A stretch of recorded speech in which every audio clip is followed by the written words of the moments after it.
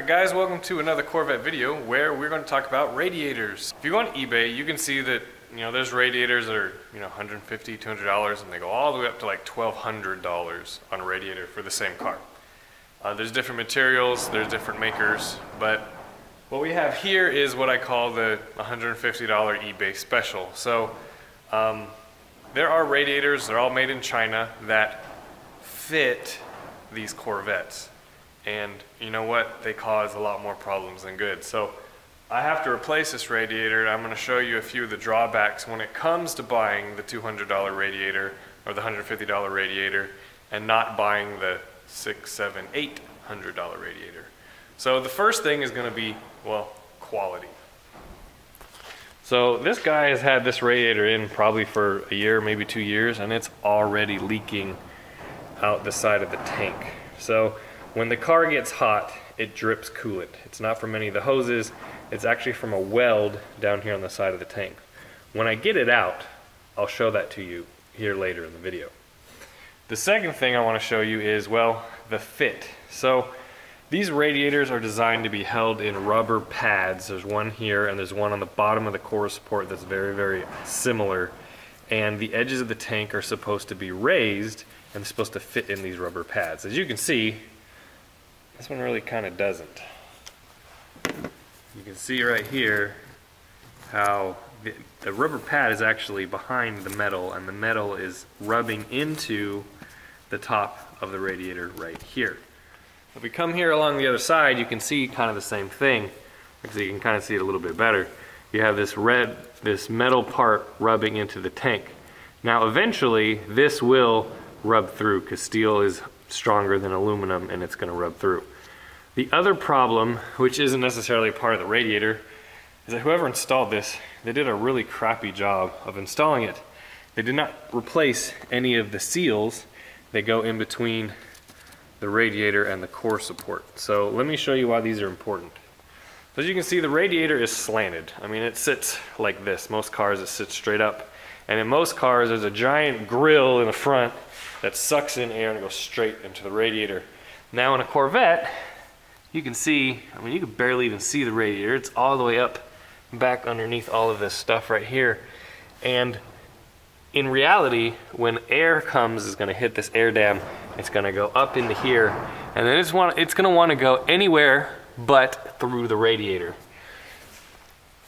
And obviously, you want air to go through the radiator. So what it's gonna do is it's gonna come from underneath the car, it's gonna hit the core, then it's gonna shoot out the top, shoot out the sides, or shoot out the bottom.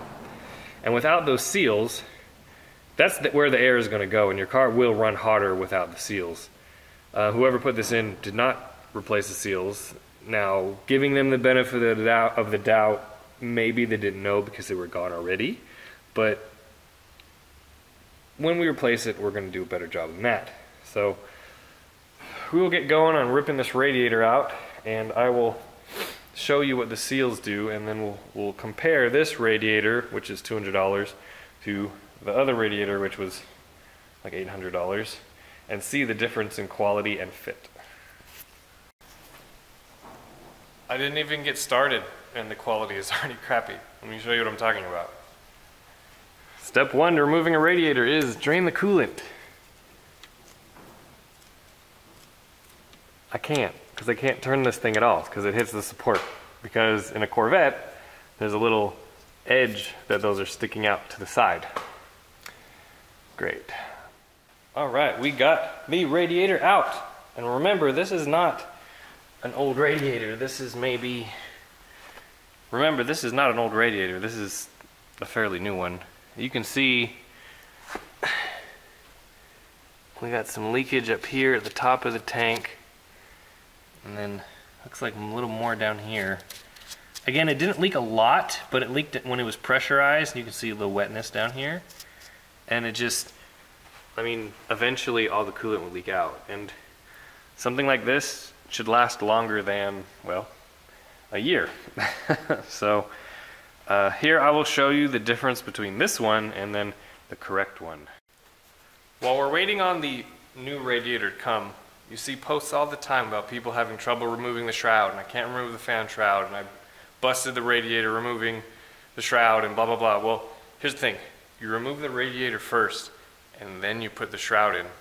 It never gets talked about and no one ever does it the correct way. They always want to remove the shroud first and then the radiator. But watch this. Let me just show you how easy it is to remove the shroud once the radiator's gone.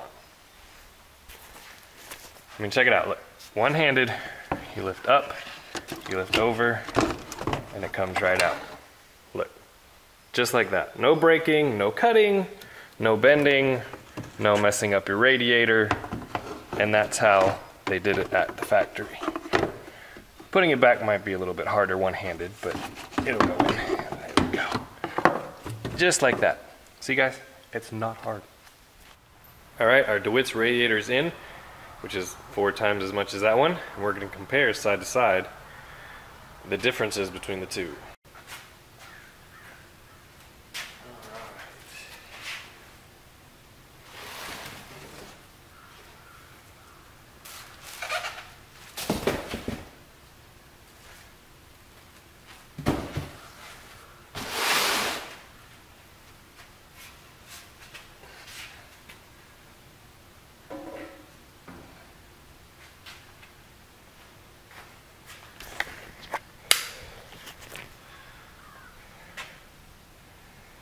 So here is the side by side. So a couple of differences I see is just the size of the tanks. So you see this? These are specific size to fit in the little rubber feet that hold the radiator in and this one is obviously too small. Uh, the neck on this is two sizes. This one's one. I believe the, the hose that went on this was too big for this and so they had to clamp it down really really tight. So there's another difference. This tank's not as different, I don't feel like, other than obviously the width again. Um, the bottom neck is a little prettier on this one versus this one.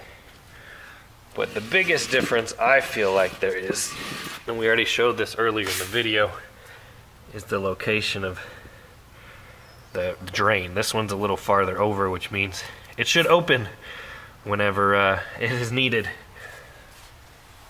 But as for the cooling core, I mean, I guess